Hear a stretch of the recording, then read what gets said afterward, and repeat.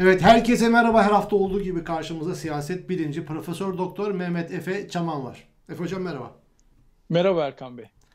Hocam kriz derinleşti. Ekonomik kriz derinleşti gerçekten. Şu anda açlık sınırının altında milyonlar yaşıyor. Fakirlik sınırları demiyorum. Açlık sınırının altında milyonlar yaşıyor ve kriz derinleştikçe bakıyorum yandaş kalemlere bir panik içerisindeler. Mesela bunlardan bir tanesi Cem Küçük. Mesela Şamil Tayyar. E, bu gidişat iyi değil. Telaşı ve paniği içerisinde. Bir bunu konuşalım. Bir de ayrıca Erdoğan e, NATO zirvesi için Amerika'ya gitti. Bu ekonomik krizde 5 uçakla gitti. Biraz da bunu konuşalım. Nereden başlayalım?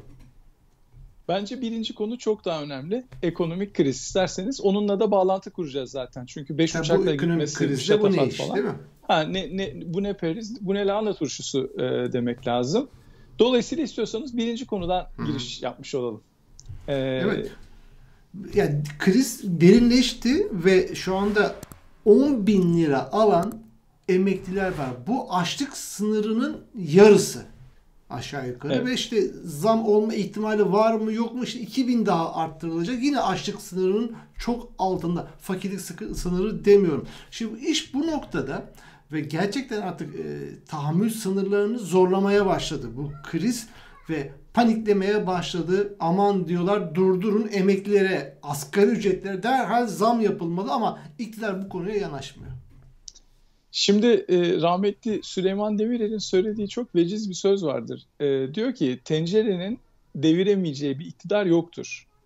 Yani her şeyin aslında e, özü asgari müştereklerde insanların siyasi görüşlerinden farklı e, olmaksızın, işte etnik kökenlerinden farklı olmaksızın herkesin temel kaygısı sofraya iki dilim ekmeğini, e, işte yemeğini koyabilmek, çocuklarını e, yedirip içirebilmek, e, okutabilmek. Türkiye çok kötü bir durumda, çok ciddi bir buhran geçiriyor ve enteresan bir şey ikimiz de artık e, orta yaşın üstü yaşlılığa doğru giden bir jenerasyondanız. Maalesef. Siz de ben de. Türkiye'nin maalesef Türkiye'nin kötü günlerini görmedik değil. Yani çok kötü günlerini gördük Türkiye'nin ama bu kadar kötü bir gününü gördüğünüz oldu mu sizin Erkan Bey? Çünkü biz ikimiz aynı nesildeniz. Yani siz hatırlıyor musunuz? İşte Özal dönemi, Demirel derin dönemi. bir ekonomik kriz ben hatırlamıyorum. İkimiz de gerçi ben yurt dışındayız ama gözümüz kulağımız Türkiye'de. Ekonomik krizin derinliğinin farkındayız. Yani evet. ben hani çocukluğumda yani tüp bulamamak, bazlık, e, margarin bulamamazlık, tüp kuyrukları falan vardı ama yani bu başka bir şey ya. Var da ne? Yani gidip alamıyorsun ki. Evet, bir de küresel küresel bir problem yok. Yani mesela ben hatırlıyorum işte 70'lerde 80'lerde ekonomik bir kriz olduğu zaman ne bileyim işte petrol darlığı olurdu, e, işte dünyada başka bir e, büyük bir aktörün ekonomik bir kriz yaşama durumu olurdu. O tetiklerdi dünyanın başka bölgelerindeki krizleri falan. Yani şu an bütün dünyada e, normal ülkelerde enflasyon düşüyor, işsizlik azalıyor. Yani Türkiye Türkiye ekonomisi dünyadaki gidişattan dolayı kötüdür dememiz için yeterli argüman yok. Yani ikimiz de ekonomist değiliz ama dünyada neler olup bittiğini görüyoruz. Yani dünyada işte Covid döneminde evet enflasyon yükseldi. Hatta Avrupa Birliği'nde, Kuzey Amerika'da çift taneli rakamlara kadar ulaştı. Fakat Covid bittikten sonra yani pandemi ertesinde kademeli olarak enflasyon oranları düştü. Hatta ekonomi çok iyiye gitmeye başladı. Yani Amerika'da bu böyle, Avrupa Birliği ülkelerinde bu böyle, Kanada'da bu böyle, Japonya'da bu böyle, Çin'de bu böyle. Yani dünyada farklı evet. farklı küresel dinamikler gayet normal. Dolayısıyla şeye odaklanmamız lazım. Yani Türkiye'de yanlış giden nedir? Türkiye'de niye böyle oldu? Hı hı. E, ve bir de insanların tepkisizliği de beni ürkütüyor biraz. Bir, bir de o konuya isterseniz evet. Şimdi hocam şu bir de veri vereyim ben size. Ee, şimdi Türkiye nüfusunun aşağı yukarı dörtte biri e, yardıma muhtaç ve yardım alıyor. 17.1 milyon kişi şu anda devletten yardımı. Bu resmi rakam. Bu resmi rakam. Tabi bunun dışında el altından e, AKP'nin kendi teşkilatları üzerinden destekleri ayrı. Ama resmi rakama göre aşağı yukarı 17-20 milyon insan devlet desteğiyle ayakta kalma mücadelesi veriyor. Ve hele İstanbul'da mesela ev bulma problem hadi buldun kirayı ödemen mümkün değil. Evet. Ve insanlar bu ekonomik krizde yaşamak zorundalar. Tepkisizlik diyoruz ama yani gerçekten evet. artık eski tepsi, tepkisizliği devam ediyor mu sizce Efe Hocam? Yani şimdi şöyle toparlamak lazım. Ben hatırlıyorum çocukluğumda işte ne bileyim perşembe pazarı vardı. Mahalle pazarları, sokak pazarları kurulurdu. Et tanzim satış noktaları olurdu. Ee, veya işte başka türlü belediyelerin açtığı e, marketler olurdu. Yani kalıcı ufak dükkanların olduğu tanzim usulü çalışan marketler olurdu falan. Ve e, buna karşın ben hiç e, ne gençlik dönemimde ne çocukluk dönemimde şunu hatırlamıyorum. Yani işte insanlar pazarın kapanış saatine yakın gidecekler. Yerlerdeki veya işte pazarcıların kullanılmaz diye attığı meyveleri, sebzeleri toplamaya çalışacaklar. Hatta daha kötüsü konteynerlerden insanlar çöp çöpler arasında yemek arıyorlar. Görüyorum böyle ve düzgün insanlar. Yani hani evsiz barksız işte ne bileyim alkolik ya da uyuşturucu bağımlısı sokakta yaşayan insan profili değil. Normal e, belli bir yaşın üstünde genellikle 60 yaş ve 60 yaşın üzerinde olan emekliler geçim sıkıntısı çektikleri için böyle bir zorluk yaşıyorlar. Hocam, fakat sokak röportajlarına bakıyoruz. İnsanlar e, feryat fükan. Yani her şeye rağmen çünkü sokak röportajlarında bile bir şeyler söylemek risk almak anlamına da geliyor. Alır götürürler adamı. Sen evet. ne oluyor falan derler. Fakat şimdi 31 Mart yerel seçimlerinden sonraki AKP ve Erdoğan'ın oylarına baktığımızda tepe taklak gidiyor. İlk defa tarihinde %30'un altına düştü. %29. AKP'nin oyu, Erdoğan'ın oyu. Şimdi böyle baktığımızda vatandaşın tepkisizliği biraz da hani yarın seçim olsa, bu pazar seçim olsa dediğinde tepkisini gösteriyor. Ama yine de 20 %29 oy alabiliyor Erdoğan. Bir de şöyle de düşünün yani o %29 e, %30'lar civarındaki oyu yerel seçimlerde aldı.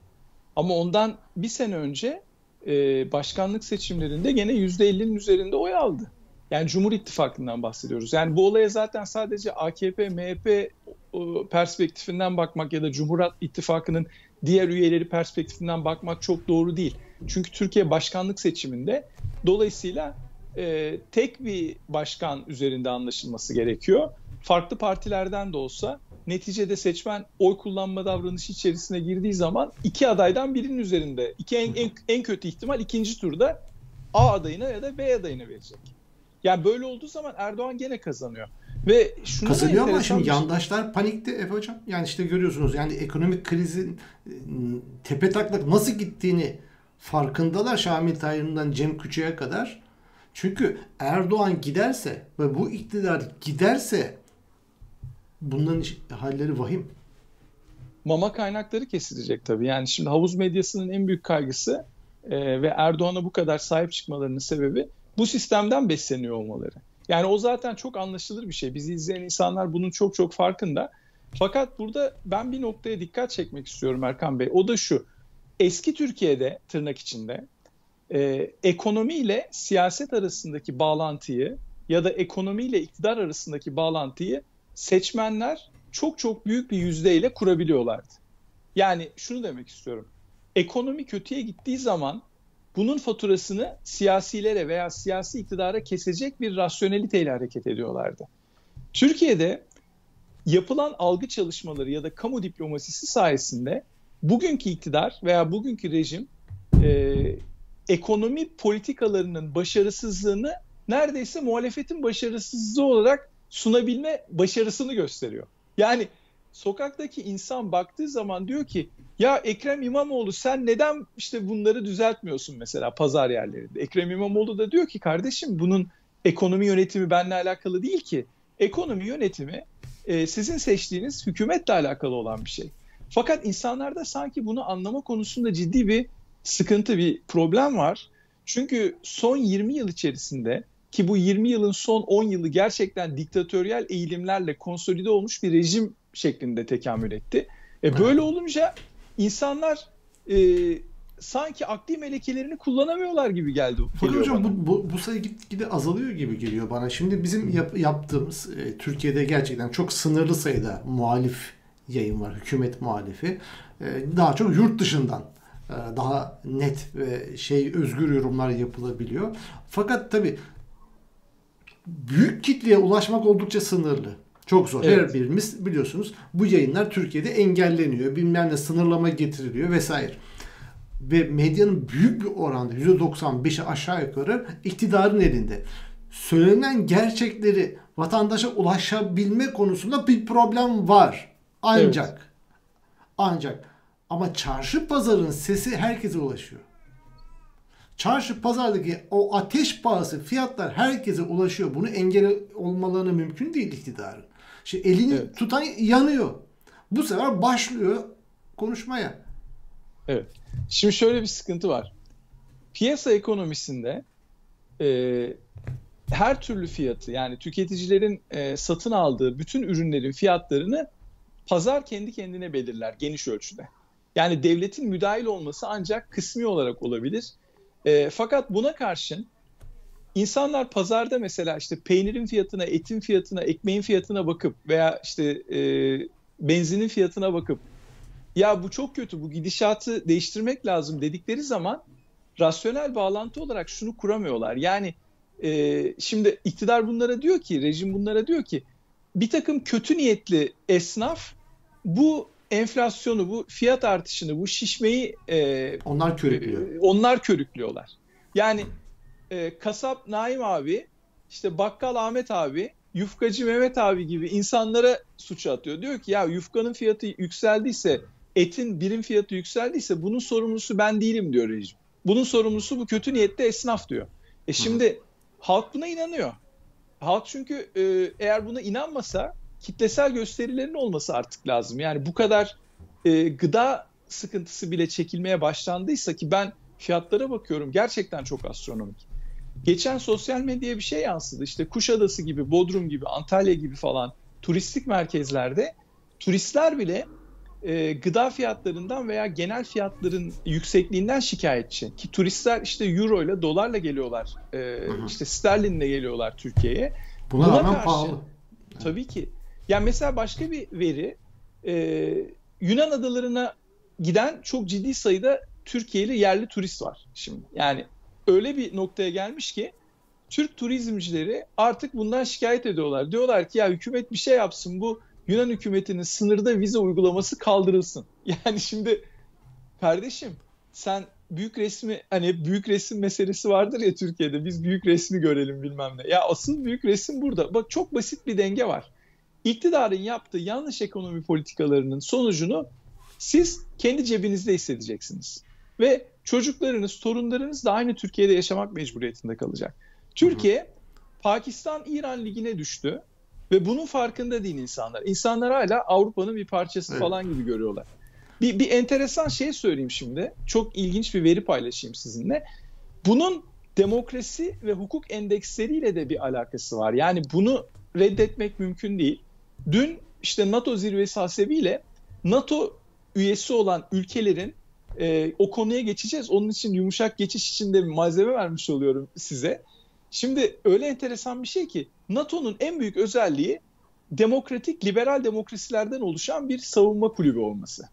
Fakat baktığınız zaman NATO üyelerine NATO'nun demokrasi ve özgürlükler endeksindeki ortalaması %87'nin üstü. Fakat Türkiye'nin e, geldiği fecaat nokta 37 puan.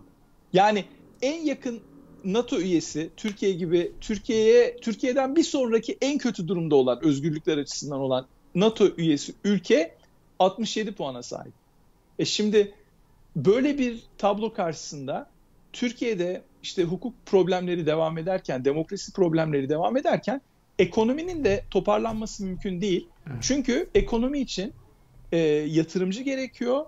Ekonomi için istihdam yaratacak yabancı yatırımcıların Türkiye'den korkmaması, yerli yabancıların da sermayelerini Türkiye'den kaçırmaması gerekiyor. Ve güven ortamının olması lazım. Şimdi öyle bir devlet var ki masum insanlara mahkeme kararı olmadan bilmem ne olmadan gidip e, malına mülküne çöküyorlar insanların ve o kadar çok büyük firmalar var. İşte İpek grubu var, Boydak grubu var. Bu grupların bütün e, işte fabrikalarına, üretim tesislerine, madenlerine, okullarına ne varsa aklınıza gelen ne gibi yatırımları varsa hepsine devlet çöktü. Ve bunu yapan rejim istiyor ki ekonomi politikalarında da gelişme olsun. Ya olmaz. Özel mülkiyet hakkını bile sen sağlayamıyorsun insanlarına. Devlet yani çöktüğü açılımını yapmak lazım. Evet devlet üzerinden çöküldü ama Orada AKP'li işte eş, dost, akraba hepsi üst düzey kurmaylar yediler bitirdiler. O ona sattı, öbürünü ona sattı. 3 30 paraya e, hepsini Yağma Hasan'ın böreği oldu. Şimdi böylesine bir ekonomik kriz ve Yağma Hasan'ın böreği olduğu bir dönemde e, işte Erdoğan'ın işte NATO meselesini dediniz ya oradan giriş yapmış olalım. Şu tepki çekti. En azından benim görebildiğim kadar. 5 uçakla gitti Erdoğan. Evet. Ve uç, arabaları özel uçakla yine kargo uçağıyla Türkiye'den gitti. Oraya. Yine Amerikan evet. Alman arabaları. Yani benzer o arabalardan çok var Amerika'da. Ve Amerika'nın en pahalı otelinde heyet olarak kaldı. Şimdi hani milletin ayrımı yok içmeye. Amerika'ya gider 5 uçakla veya 5 uçakla gider ABD'ye. Belki kafiye orada daha iyi tuttu evet. ikincisinde. Evet. Yani şimdi bunu Erdoğan neden yapar? Şimdi bunun biraz siyasi kültürle alakası var. Yani bu toplumdan bir, bir tepki çekme endişesi taşımaz mı Erdoğan? Taşımıyor demek ki artık. Yani çünkü toplum e, toplumun çok geniş kesimleri bunu Türkiye devletinin bir prestij göstergesi olarak algılıyorlar. Yani şimdi o pazarda bilmem ne de mal e, veya malzeme alamayan insanlara da sorsanız, aa tabii canım yani sonuçta Türkiye'nin e, yönetimi, Türk, Türkiye'nin hükümeti ne yapsınlar tabii ki öyle gidecekler falan gibi bir yaklaşım içerisinde oluyorlar geniş anlamda. Yani çok böyle nadirdir ya işte bu olmaz bunun yapılmaması lazım tasarruf tedbirleri lazım falan diyen insanların olması. Yani, yani böyle iktidarda bir, bir hani tasarrufun var. gündemde olduğu bir dönem. Hani Allah'tan hamdolsun Büyük Millet Meclisi'nde biliyorsunuz artık damacana su değil arıtma su tasarruf tedbirleri e, kapsamında e, uygulanınca dedim oh artık yani devlet hakikaten iktidar ciddi tasarruf yapacak bu ülkede. Ama şimdi bir taraftan tabii bütün bunlar görünce şimdi bir de mesela ben İsveç'te yaşıyorum biliyorsunuz. İsveç Başbakanı'yla Finlandiya Başbakanı küçük bir uçakla birlikte gittiler Amerika'ya. Evet. Birlikte gittiler ve küçük bir uçakla. Ve bunu İsveç ve Finlandiya'da bu normal bir şey. Şimdi bizimki 5 uçak gidiyor ya ve önden Numan Kurtulmuş gidiyor. Sen önden git beni karşıla tarzı. Önden gidiyor o ayrı özel uçakla. Ve arkasına Erdoğan da o bir uçak artı dört uçak beş uçakla Amerika'ya yolculuğu. Yani bir günlük bir NATO zirvesi için bu. Bakın. Sadece bir günlüğüne.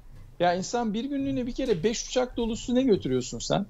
İkincisi o beşinci uçak yani dört uçakta adam taşıyorlar. Bir tanesinde kendisi var ve işte yakın çevresi var. Öbür üç uçakta bunun avaneleri var. Beşinci bir uçak var. Beşinci uçak da e, hava kuvvetlerine ait nakliye uçağı. Bu uçakla da özel araçlarını götürüyor adam oraya giderken. Makam yani bu şimdi bu bu e, bu profil nerede var biliyor musunuz? Bakın Körfez Arap ülkelerinde, Suudi Arabistan'da falan bu tip ülkelerde bu profilde e, bir yönetim anlayışı var. Emirliklerde falan böyle yani. Hiçbir demokraside, hiçbir liberal demokraside hesap verebilirliğin olduğu, hiçbir liberal demokratik hukuk devletinde böyle bir şov mümkün değil yapılmaz. İşte İsveç'te, Bakın, Finlandiya'da öyle bir şov yapmaya kalksa ki eğitimleri, aile terbiyeleri, okuldan aldığı bilmem bunu yapmazlar da siyasi ahlaklar açısından yapsalar ülke İsveç filan diye kıyamet kopar yani Avrupa'da. Kıyamet kopar. Ve alay ederler insanla. Ve bunu yapanlar siyasetçiler de alay ediyorlar zaten. Hayır bu zaten siyasi kültür göstergesi. Şimdi dünyanın birçok ülkesinde bir örnek vereyim size. Mesela ben de Kanada'da yaşıyorum biliyorsunuz. Kanada'nın başbakanı Justin Trudeau e, NATO zirvesine katıldı Washington'daki. Şimdi aradaki farkı görmeniz açısından söylüyorum. NATO zirvesinin olacağı gün sabah kalkıyor otelden.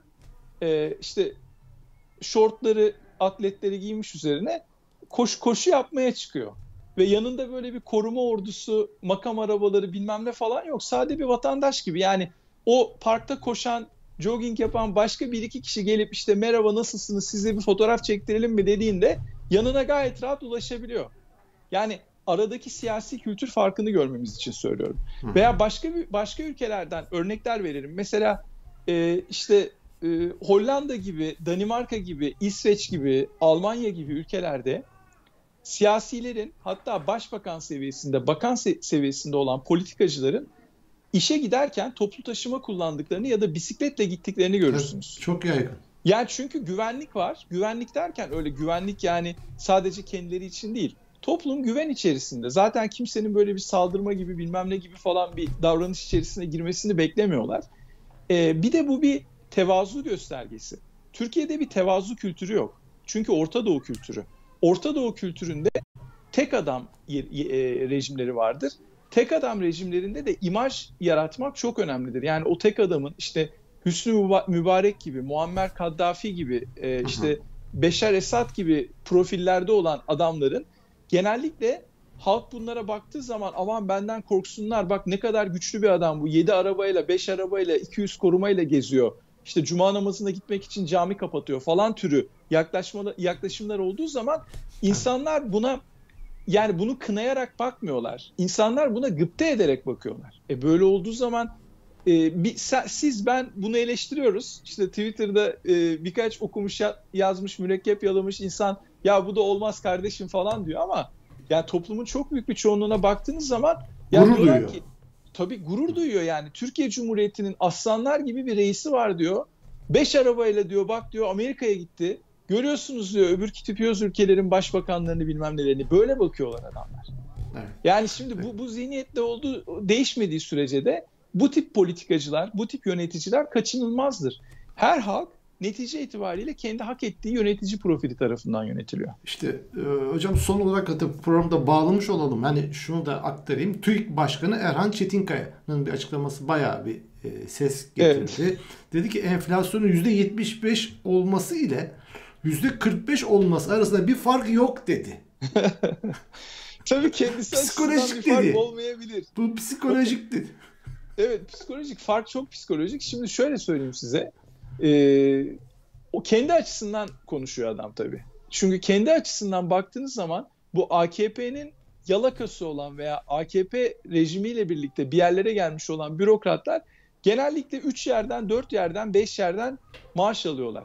Huzur hakları var, işte 4-5 yerde e, işte e, ne bileyim yönetim kurulu üyelikleri var, bilmem neler var. Buralardan gelen cukkalar var. Bunların eşleri, bunların çocukları, bunların yeğenleri, kuzenleri, dayıları, amcaları, halaları, teyzeleri bunlar cümbür cemaat böyle beslendikleri için bunlar açısından e, ne bileyim işte ekmeğin birim fiyatının 5 olması ile 50 olması arasında bir fark yok. Çünkü e, haneye giren cukka oranı çok yüksek olduğu zaman siz e, alışverişe gittiğinizde rakamlara bakmazsınız. Gidersiniz ihtiyacınız olan şeyi alırsınız. Çıkar hatta parayı öder gelirsin. Tabii. çıkar öder hatta kredi kartınızla. Yani Ve, rakamı aklınızda bile tutmazsınız. Hocam yani şunu söyleyeyim bu muhterem e, TÜİK Başkanı Erhan Çetinkaya e, eski Bayrampaşa Belediye Başkanı da damadıymış. E, işte yani buyurun. yani iyi yere bakın ya, bu bizim tarihimizde çok vardır. Bakın Osmanlı tarihine baktığınız zaman e, isminden önce işte damat e, lafının olduğu mesela damat Ferit gibi. Yani damatlar çok meşhurdur. Bir, birinin kızıyla evlendiğiniz zaman yaptığınız izdivaçta işte aşk veya e, sevgi veya birliktelikten öte sizin siyasi veya ekonomik olarak geleceğiniz noktalar bu Türkiye kültüründe çok hakim bir şeydir. Belki yani Osmanlı'dan sev, severek evlenmiştir e, diyelim de hani tabii ki yani. yani aile saadetlerini o, şey yapmıyor. O da bonus yani. O da bonus. Eğer severek de evlendiyse iyi yere dükkan açmışlar Yani bu da bonusu tabii ki. Tabii. Ya bakın biz aslında bununla dalga geçmek için söylemiyoruz. Aslında bizim amacımız bu programı izleyen vatandaşlarımızın e, artık bu durumu protesto etmeleri lazım. Ama tabii bu sadece ışıkları saat 9'da açıp kapayarak protesto etmek bunların yani bunlar gülüyorlar bakın ben size söyleyeyim. Hani Özgür Özel'in söylediği ya işte biz bu ekonomik durumdan şikayetçiyiz o yüzden e, protesto eylemi yapacağız. Ne yapacaksınız efendim? Ya işte ışıkları açıp kapatacağız. Tencere etkili, tava çalacağız. Etkili olmaz mı yani? Çünkü sokağa çıktığımda tutuklanma endişesi var. Provokasyon endişesi var. En azından diyor vatandaş kendini daha güvende hissediyor. Evde ışığı açıyor ya kapatıyor yani. Ya bakın ben size şimdi şunu söyleyeyim. Beyaz Rusya'da, Belarus'ta dünyanın en otoriter rejimlerinden bir tanesi var. Adamlar bir kitle e, eylemi yaptıkları zaman 300 bin 500 bin kişi katılıyor. Yani anlatabiliyor muyum?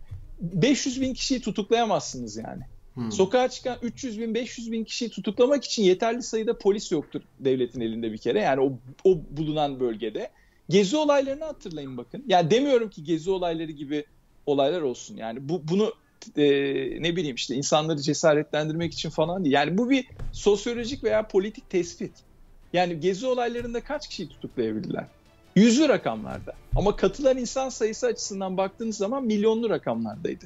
Onu demek istiyorum. Yani e, e, ama ona korkacaksın, buna korkacaksın. O zaman biz de korku, korkalım. Bakın biz konuşmasaydık bu programlarda, yani e, böyle sessiz bir şekilde kendi köşemizde bekleseydik 7-8 senedir, e, bugüne kadar bir şekilde biz de rehabilite olurduk. Türkiye'ye gidebilme şansımız olurdu falan falan yani. Ama konuşmak gerekiyor artık. Ve bunu yapan insanlar var. Korkaklıkla sürekli olarak pusarak, sürekli olarak tırsarak nereye evet. kadar devam edeceksiniz? Yani. Evet. Peki.